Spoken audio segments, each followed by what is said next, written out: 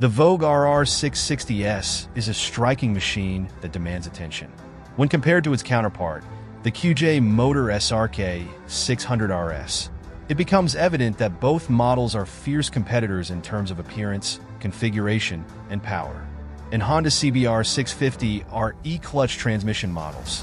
Due to their high prices, do not seem to attract much interest in the current motorcycle market, where those Chinese bikes are found. So let's take a look at the performance of the RR660S.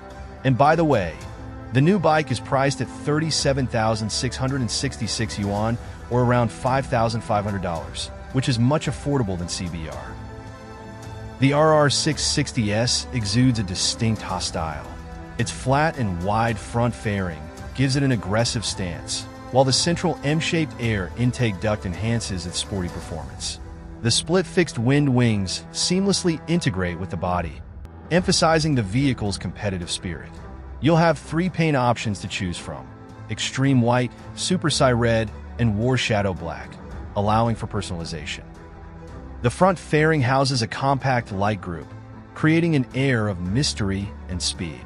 Its full LED headlights ensure safety and visibility during night rides, while the bionic taillight design enhances recognition. After lighting, the RR660S features a TFT full-color LCD display instrument. It provides essential information, including single lap speed, cornering angle, and acceleration. Different power modes are also displayed, adding to the comprehensive user experience. As for the power, the power system of the RR660S is equipped with an inline four-cylinder 663 cubic centimeters, water-cooled four-stroke engine. It adopts a DOHC four-valve structure design and also adds an intelligent electronic fuel injection system and a RAM air intake system. The maximum horsepower reaches 100.6 horsepower at 11,500 RPM, and the maximum torque is 64 newton meters at 10,000 RPM. It only takes 3.5 seconds to accelerate from 0 to 100 kilometers, and the maximum speed can reach 235 kilometers. Under the Ram air intake state, the power can be increased by 2.7 horsepower.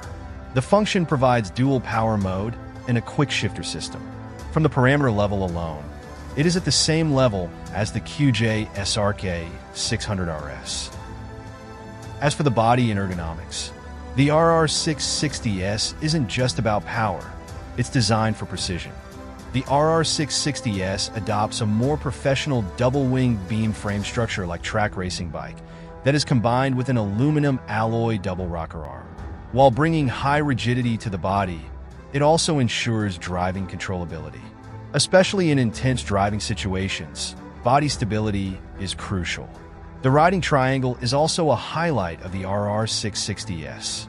The seat height supports three levels of adjustment of 780, 810, and 830, and the footrest and handlebar positions provide adjustments at different angles and distances, meeting the requirements of more riders for riding posture and being more humane.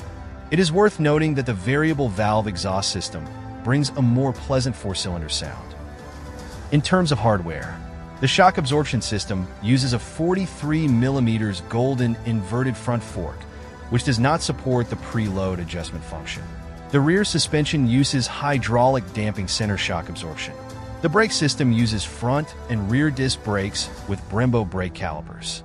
The front double disc opposed four piston calipers plus rear single disc with double piston brake calipers have reliable and stable braking performance. The electronic control provides a dual channel ABS braking system and TCS traction control system. And the shutdown function also meets the driving needs of different riders. In summary, the Voge RR660S is a worthy contender in the mid-displacement sport bike segment. Whether you're tearing up the track or cruising the streets, this motorcycle combines style, performance, and practicality. So, do you like this bike? Tell us on the comments. Thanks for watching.